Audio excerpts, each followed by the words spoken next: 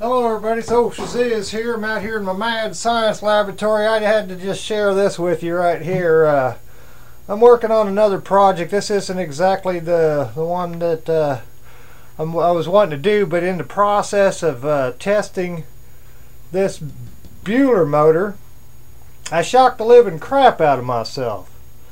And I'm like, you know, that's uh, that's a whole hell of a lot more than uh, 12 volts of electricity. So just out of curiosity, I hooked up uh, this 150 watt uh, light bulb right here. I had to unhook that because uh, this is a little um, 14 volt uh, electric motor out of a cordless drill. And I've got a really cool project that I'm working on with this. But uh, this particular motor's obviously not going to work because uh, I've got to do something different. Anyway, I wanted to show you this. I got my uh, battery charger hooked up to this because this uh, battery only holds about 7 volts and so it won't run the uh, run the thing. But watch what happens when I put this uh, this uh, system right here on the uh, battery charger.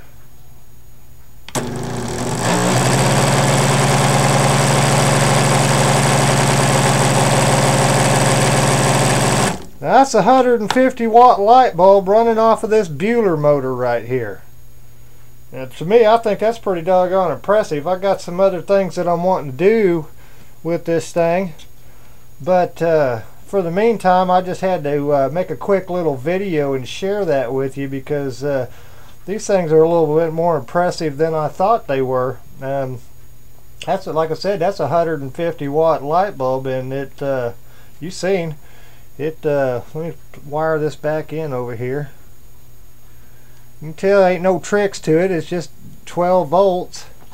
This is just my uh, my battery charger over here which after after a while if you run it long enough uh, this motor here or something draws too many amps and then uh, and then it kicks the uh, charger off. Watch that again I'll leave it running here for a second, see how long it takes to kick off.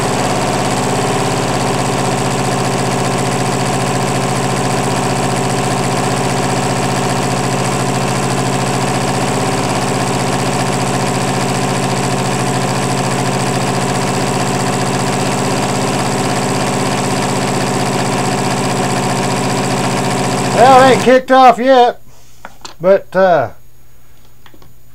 well, George, I had to share that with you. That's pretty doggone cool, man. This little Buhler motor is not even hot.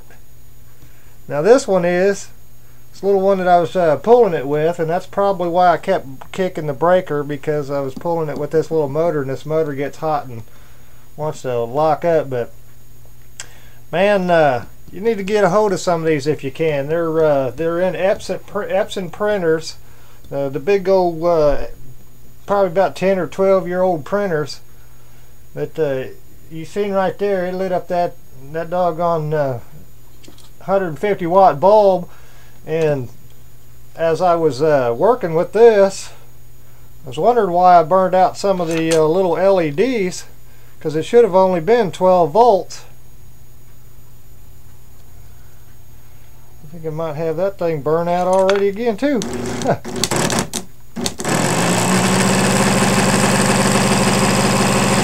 Well, you can see some of the LEDs are gone in it.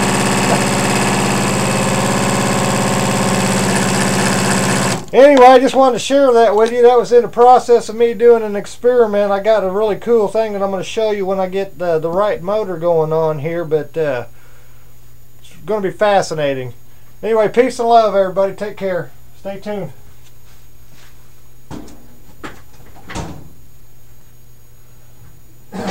Yeah, it's me again. I'm going to do one short little addendum here. Because I know somebody's going to ask me the question. so I'm going to hook my voltmeter up to this doggone thing and uh, I'm going to put it on AC current just to see if that's what uh, what's coming out of this thing. And I'm going to hook it in right here and here. See what I get. Now I'm going to try like hell not to shock the crap out of myself, but I normally uh, I normally end up getting myself. Okay, let's try this again. Where's my deal there? Do do do do do. There you are. I got wires and junk laying everywhere.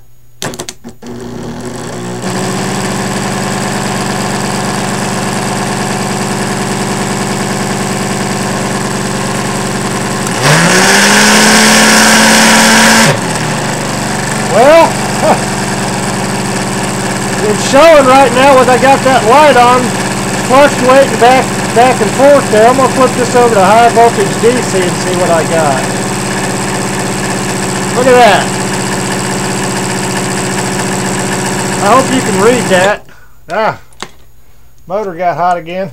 but anyway, I think you get the point. Um, this putting out some pretty pretty good voltage for uh, that little gizmo right there. Ha! Huh. I'm impressed. Smell something smoking. I think I fried that little buddy out. Wait till that uh, doggone thing kicks back on there again. Take a minute, and I'll see if it uh, see if that light will come back on.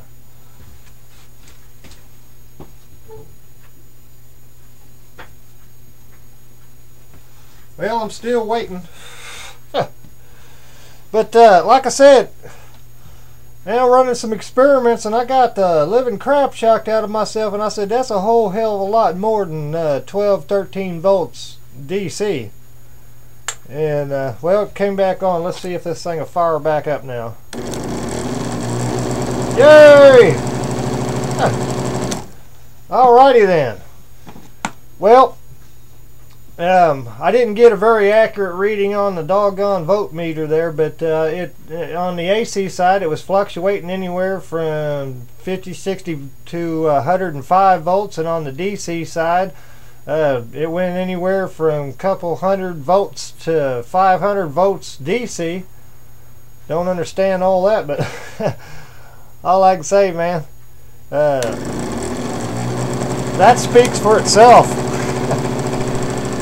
All right. Anyway, that's a that's a Buhler motor out of a out of a doggone Epson printer, and that's a little 14 volt uh, cordless drill motor and a crappy little sealed lead acid battery that uh, won't go over seven volts. That's why I had to use a doggone battery charger. But man, pretty cool. All right. Peace and love, everybody. Take care.